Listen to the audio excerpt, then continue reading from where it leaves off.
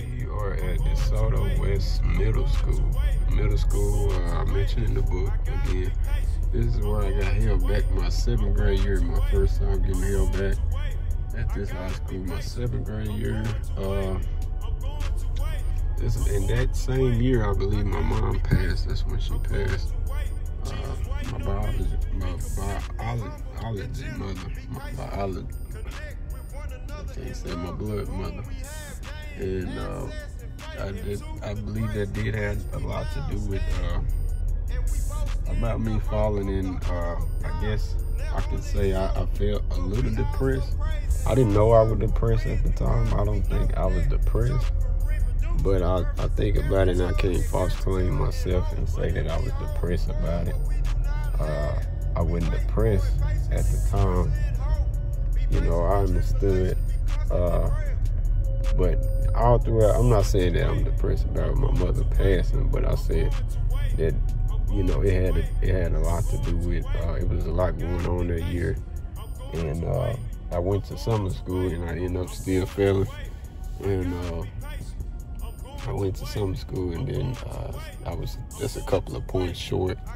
A couple of points short, maybe two, three, four points short. Uh, I still, uh, I remember the teacher that failed me, and uh, it was just one, one paper. I was the last one in the room. Oh, you can't go out this way. I was the last one in the room, and you know, still taking my test, and I think she wrote a zero on it. And she called my dad and told him that I have to be retained. And at that time, I didn't know about other schools and, you know, about transferring into my aunt. My aunt, she told me about the school. And it's a lot of people that, that really, I, I don't show it a lot, but it's a lot of people that have uh, helped me along the way, you know, along this path. You know, I'm not the only one that's doing all this. I'm pretty sure you guys can see that and know that. You know, I had family to back me up. I had people in my corner, you know, that helped me, you know, uh, when it needs to be helped. And I want to be able, be able to do the same for uh, the next generation, you know, that's coming up. So applying myself now, you know, getting more serious about life. I, I was, like I said before, back at Dallas Can when I went there, I got, uh, you know, I was real determined to graduate. I knew I had to graduate. I didn't know. I said, however long it take, I was going to, I was determined to graduate. So that's what happened, uh, you know. And uh, that was also a lot of learning lessons. So we just going to go ahead and go to another site. Uh, we still, we back in DeSoto. So, uh, you know, I told you this is where I did most of my growing up and everything. So, uh, you know, this is one of those schools where you know, uh, kind of, it, it, did, it do something to you, you know, when you get held back, you, you feel like you, you drop your rank, you know, your rank drop, and you with the younger kids, and, you look real uh, funny to them, you know, because now you, you're getting held back. And, uh, you know, I, also mentioned my producer, the producer I did uh, Christ Foundation with Keith he got held back the same year. Ain't that a coincidence? And we doing music to, together now. And uh, I said I was gonna call Key. I'm gonna call him, text him now. He got some new equipment and everything. So we end up talking to him and uh, about it. But uh, I mean, not about it, but I just got finished listening to some of those songs I had uh, that I recorded. But uh, yeah, yeah, man, this this is one of those uh, schools too where I, you know a couple turning points I mentioned in the book, and uh, you know, but we're going to the next site now. All right, This is a high school, man. This high school is like a college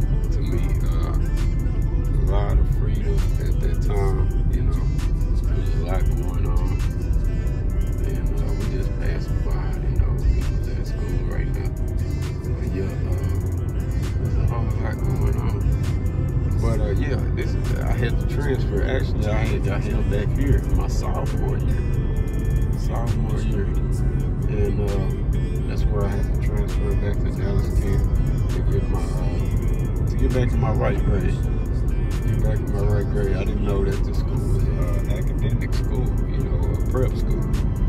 Actually, it's an international school now, so uh, I, I, really didn't even understand at the time where I were until later after I left. You know, uh, you know, this is one of the top schools for uh, sports,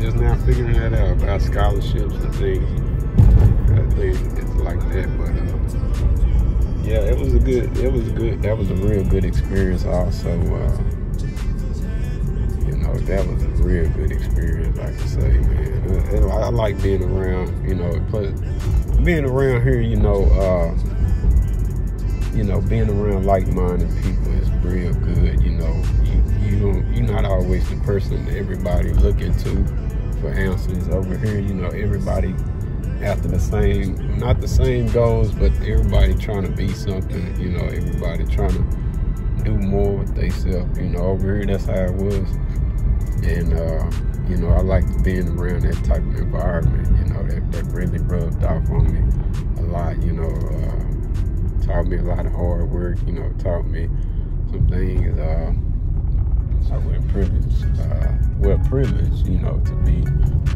you know, over here. So I, I started figuring that out, you know. Uh, like I said, I was young at the time. I, I didn't know what kind of questions to ask, the right questions to ask, and things. Now, uh, you know, now just about asking the right questions, talking to the right people, you know, uh, being around the right people that want want you to they want to see you do good, you know. So that's what that's all about. And we headed to another site. At my school where I had graduated, Dallas Can Academy. And uh, this school right here was a good school. They got me my credits.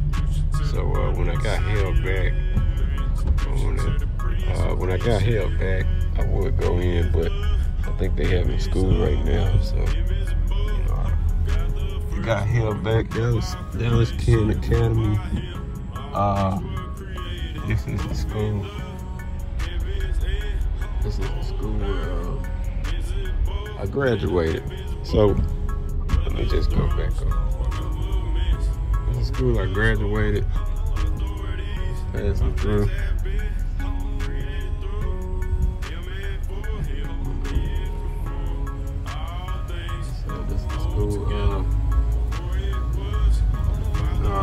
Back into the auto, autobiography book, I explain, uh, you know, my situation, uh, why I had to transfer from this auto high school to uh, to Dallas Can over here in Pleasant Grove, and uh, it, it, it, really met it really met my goals, the goals that I, I was looking to do, and uh, you know, and uh, they skipped me back into my right grade. I got my credits up. I was determined to uh, I was determined to uh,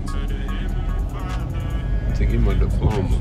You know, that's when I started getting more serious about life and everything. So I, I had my mind made up. I rode the bus out here, the city bus, and uh, eventually worked to get my first car and everything.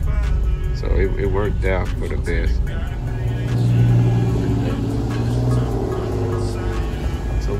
Gonna a different. FedEx Ground. This is my first job. The school uh, helped us, provided us uh, with some jobs we can look at and uh, everything. So just coming over here, I don't use uh, package handler. I mentioned that in the autobiography inside the book. So and uh, this job really, uh, this is where I really got my hands a little in, uh, where I got my feet wet a little bit. Work field. So uh, working in the warehouse was my first job, and uh, you know uh, unloaded unloaded trucks and uh, scanning trucks as well. So everything was good at the time. You know, uh, I I'd say I, I could still work it now, but I'd say once you grow from something, you want to keep growing. You don't want to keep going backwards. You know, I don't want to go backwards. So I feel like I need to keep going. That was uh, something for me to do. in high school at the time. You know, a lot of people say, well, you could have stayed, maybe you would have got a promotion and things, but you, you, you know, you just, you know, I hear that a lot. I, not, not just pointing out one thing or two, and that's a, that's a good, that's a good, uh, yeah, that that is good though, because I could have stayed and everything, but uh, let me pull over. Behind me there. Okay, but yeah, they could have stayed. Uh, but yeah, uh, being here, being here was a good experience for me, good work uh, for me to get in the work field. And, uh, you know, I met a lot of people here too as well, but it, it wasn't the start of just really getting strong with the Lord and, you know, it was it was good. It was good. It was still a learning process here. So you, you see a lot of things see a lot of things. So they still hiring package handlers uh, now, you know. Uh, but yeah, uh, this this one of those first jobs, you know, coming from high school, you know, working here, providing me with the needs and responsibility and, um, you know, a little more uh, dedication and things. Um, you know, paying my car off, you know, just paying things on my own as a young adult, uh, growing up. I don't I don't really regret anything. It's just sometimes you, you wanted to do a little bit more. I think that's the reason why things do happen because you be you still hungry for it. So you you end up uh, you still be hungry a little bit. So you even hungrier now. Now you got more hunger to want to do even more. So everything happens for a reason. It's inside the book. And I'll just over here real quick uh, to back in the car real quick. But uh, we're gonna head to the next site. Metropolitan Baptist Church.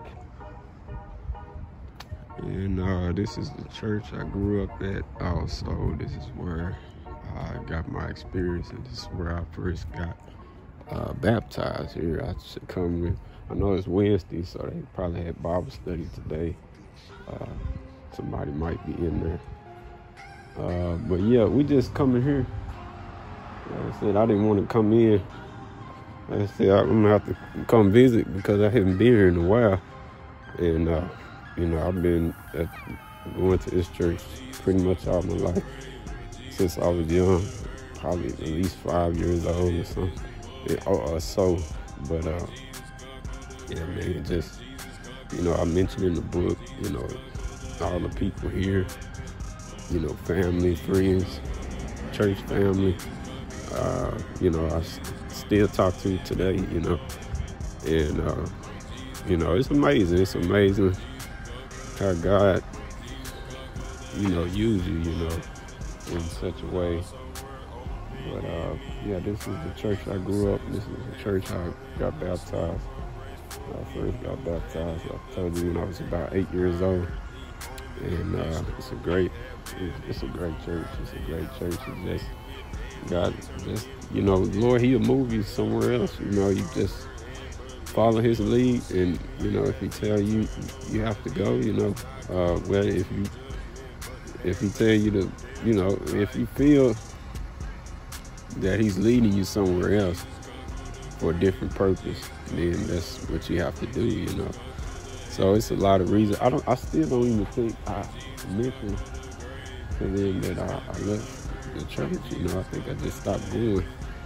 And uh, you know, I, I, go to the Potter's house now, so that's my new home church. Uh, the Lord has laid me there, and I feel it strongly.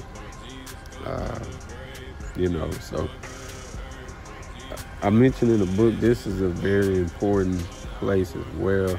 Uh, you know, my faith in everything is grown here, started here. You know, this is pretty much where it all started. My walk with God, you know, uh, I'm blessed. And I had a perfect and good childhood, uh, a real good childhood, man. I, am so blessed to have uh, the Christian parents the way I had it. You know, I see everybody didn't don't have that. So, you know, uh, more is required out of me because of that. You know, so more is required out of me. I, you know, much is given to much. Much is required to much is given. The Bible says. So I feel that you know I'm blessed and privileged to have that. So it's you know for me to uh, step up and actually act accordingly in the way you know. But everything you know it's it's, it's connecting the dots and seeing everything now. Uh, a lot has changed here. I see it's a new minister, Frank Cotton. Oh, Rim Cotton, yeah. See, I have to come back, man. I'm, I, I have to visit, man. I, I'm just now getting back out, you know, about me studying for the military now. So I'm still getting myself together. So I, uh, I kind of had to kind of shut myself in to learn more and discover myself and discover what God has given me so I can use it out here. So it wouldn't be a waste of talent, waste of gifts. You know, I want to do what He sent me out to do. So that's exactly what's taking place. And uh, it's amazing. It's an amazing. It's, this has been very good. And uh, that's that's that's about it. So that's, that's it for this site here. And uh, we're gonna move on to uh, another site. All right, thank you.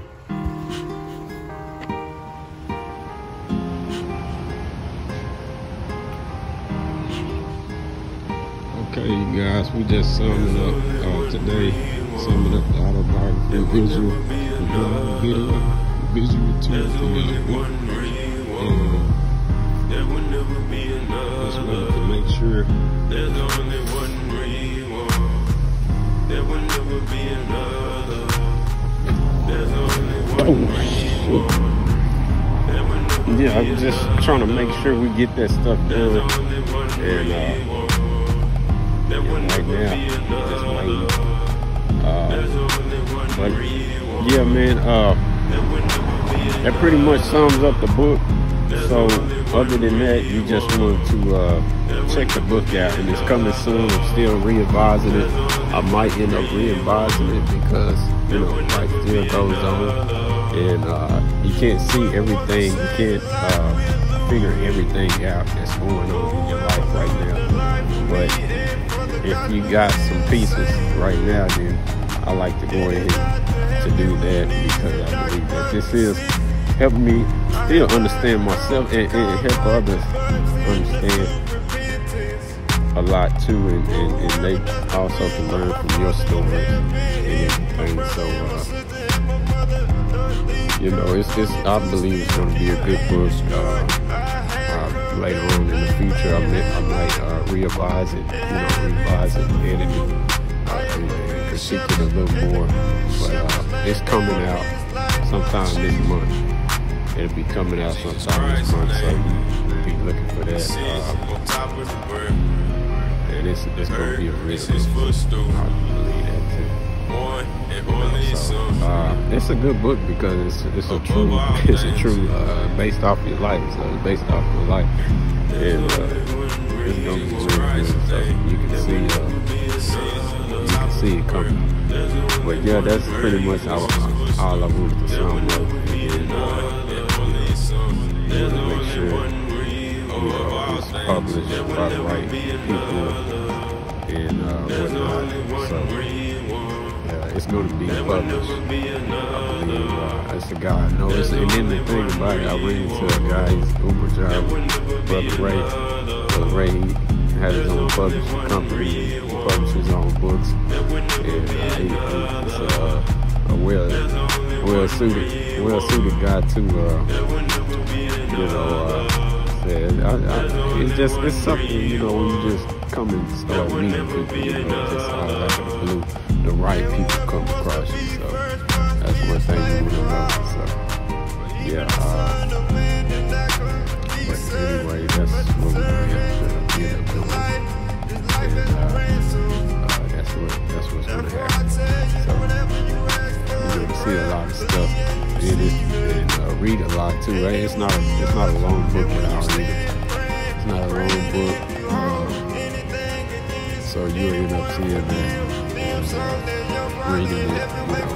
Should be on E digital, digital, and you can. I'm also get a hard copy, so we're gonna get a hard copy. And then, uh, that's what we're gonna have. But uh, anyway, that's how it's gonna be.